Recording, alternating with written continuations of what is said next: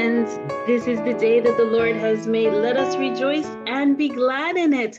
How are you doing? It is always, always so good to see you. I know I can't see you, but you see me. And um, as we join together here at the rest stop, it is always my pleasure to join with you in reading the Word of God. That's what we do. We read the Word of God, we ponder, and then we rest and we stop and we ask the Lord, to give us a refreshing wind, refreshment for our soul here at the rest stop. Yes, we take a Selah, we take a little bit of a break. So um, as you can see, my background is a little different. I am here at the home headquarters of the Williams family. And so yes, you can go home again. Uh, but that is really where we're gonna we're gonna find our focus today. So in our lectionary reading, we have um, it's the 14th week of Ordinary Time. Our lectionary reading, we have a lot of really great readings today, but I'm going to read a familiar one that you've heard before. And um, here we go. It is Mark chapter 6. It's verses 1 through 13, a very interesting, interesting passage of scripture um, that Jesus is teaching his disciples several things. Really, the main thing is how to deal with rejection um, I think that that's what comes out of this scripture. So here we are, Mark chapter 6, verses 1 through 13. All right? When you have the word of God, say amen. Amen. Okay, so here we go. Um, he left that place and came to his hometown, and his disciples followed him. On the Sabbath, he began to teach in the synagogue, and many who heard him were astounded. They said, where did this man get all this? What is this wisdom that has been given to him? What deeds of power are being done by his hands? Is not this the carpenter, the son of Mary and brothers of James and Joseph and Judas and Simon? And are not his sisters here with us? And they took offense at him. Then Jesus said to them, prophets are not without honor except in their hometown and among their own kin and in their own house. And he could do no deed of power there except that he laid his hands on a few sick people and cured them. And he was amazed at their unbelief. Then he went about among the villages teaching he called the 12 and began to send them out two by two and gave them authority over the unclean spirits. He ordered them to take nothing for their journey except a staff, no bread, no bag, no money in their belts, but to wear sandals and not to put on two tunics. He said to them, Wherever you enter a house, stay there until you leave the place. If any place will not welcome you and they refuse to hear you, as you leave, shake off the dust that is on your feet as a testimony against them. So they went out and proclaimed that all should repent. They cast out many demons and anointed with oil many who were sick and cured them the word of the Lord. Thanks be to God. Yes, that's a that's a really great passage of scripture. Jesus is teaching his disciples as they set out on the mission. They're on mission. They're on mission. He sends them out two by two. Isn't that familiar? Don't we remember something about two by two? um, but he sends them out two by two and he teaches them how to deal with a house that they come to and they're not welcomed. Really, how to deal with rejection. And I find three movements in this passage. Um, three movements. It's it's one about um, I don't know if it's in this particular order, but we see disbelief there, right? Because there's this there's this whole aspect of their unbelief. It says that um, Jesus was let's said, he could do no deed of power there. um, he was amazed in, in verse six, and he was amazed at their unbelief, right? So we have disbelief and then we have dishonor. Um, here we go. We're going to go dishonor first, then disbelief, because here it is. Um, the dishonor comes when Jesus is talking about a prophet. Uh, it says here in verse four, prophets are not without honor except in their hometown and among their own kin and in their own house, right? So there's dishonor, there's disbelief happening. And then the third movement here is the dispatch. He still sends them out. He sends them out and he sends them out with instruction, right? He called the 12, verse 7. He called the 12 and began to send them out two by two, gave them authority over the unclean spirit. He ordered them to take nothing for their journey except staff, no bread, no bag, no money in their belt, but to wear sandals and not to put on two tunics, right? And then he said to them, wherever you enter a house, stay there until you leave the place. And if any place will not welcome you and they refuse to hear you, as you leave, shake off the dust that is on your feet as a testimony against them. There's something about that phrase, shake off the dust. When you look it up, um, it, it's, it's about rejection, but also there's another aspect of that phrase that means new beginnings. And here we are in the seventh month on the eighth day.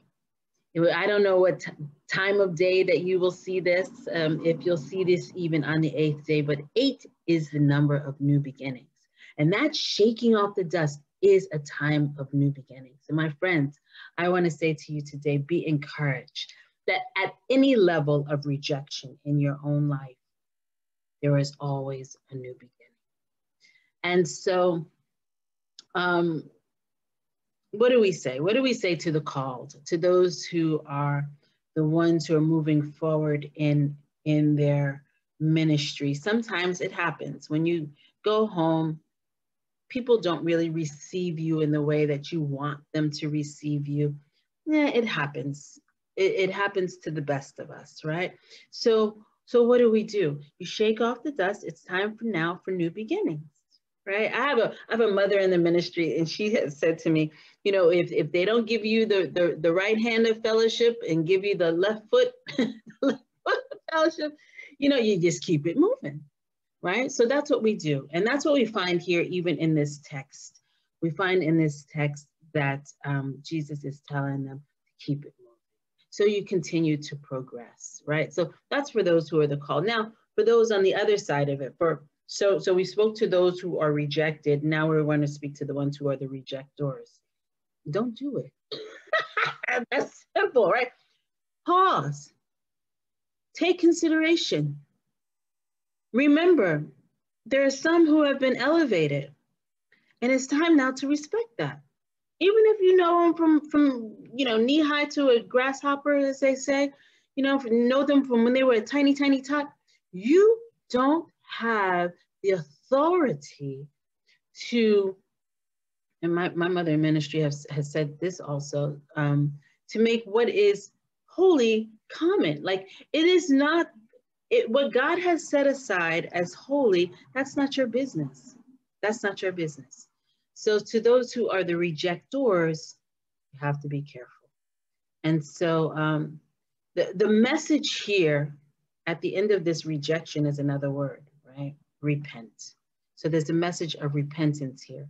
So, so all of us can take up that opportunity to repent. Those who are rejected, because sometimes when we're rejected, we carry things in our hearts that we don't want to carry, so we need to repent. And then those who are, are dealing the blow, right? Then um, you, you have to repent as well. And so the message of repentance still goes forth, still goes forth with the disciples. And at the end of the day, we are all called to be disciples of Christ. We are all called to carry the message of Christ. And, um, and that's, that's my encouragement to you today, to continue to move forward and to carry the message of Christ, to carry the grace of God with you, even in your state of rejection. It happens to the best of us. All of us have experienced it. it. Some of us have dealt it and some of us have felt it. But at the same time, at the end of the day, we carry the grace of God, we keep it moving, and we ask the Lord to show us what our new beginning is to look like. Are you okay with that? Is that something good for you can take with you? All right, so let, let's rest and let's stop in that together.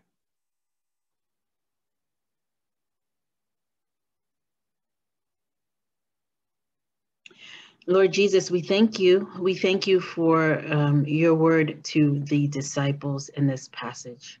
We thank you that we can still feast upon your word and we can still gain some instruction. Lord, we're not completely sure of all that took place, but we do know that there were many um, there who just saw you as Mary's son, just saw you as the brothers, the brother of Simon and Joseph and, Judas and your sisters. And and so lord jesus they they they were like is this not the carpenter? We know that they want to keep you in in, in their little box. But lord help us even as you told this story to your disciples help us to get the message that you want us to hear help us lord you said he who has an ear to hear let them hear what the spirit is saying so we pray that you would incline our ear to hear what the Spirit is saying to us in this hour. Um, to be mindful, to be careful of how we are to treat one another, period. And so, Lord, we give you praise, we give you glory. We know that this is also a passage about faith because you told them to take nothing um, except their staff and sandals. And so, Lord, as we move forward, as we progress, I'm even reminded um, of, of the armor, the full armor of God. And so, Lord, we go forth with the sandals of peace. And we pray that peace would dwell in our hearts, peace would be in our minds as we carry grace with us, even in the face of rejection. Lord, we are still uh, able to carry grace and gratitude in our hearts, knowing that you are with us. So we give you praise, Lord Jesus. We thank you. Our Father God, we thank you uh, for your Son, Jesus the Christ, Spirit of the living God. We thank you that you comfort us and that you continue to show us and teach us. We give you praise in Jesus' name. Amen. Well, I'm telling you, I need to start silencing my phone. because it seems as though whenever I've been doing these rest stops for the last uh, couple of uh, rest stops, it has been ding, ding, ding, ding, dinging. But um, but I thank you all for joining me here at the rest stop, and I pray that as you go forth, that you would go forth in the love of the Lord, in the power of the Lord. Hey, listen. Here's the other part. It said that, that he could do no deeds of power there except cure a few sick people. Listen, uh, come on, if you were the sick person, that's good enough for me.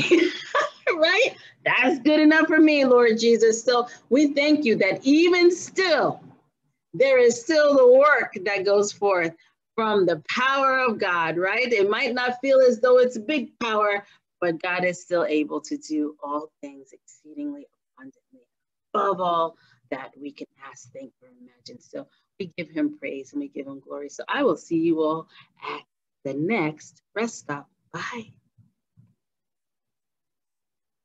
Bye.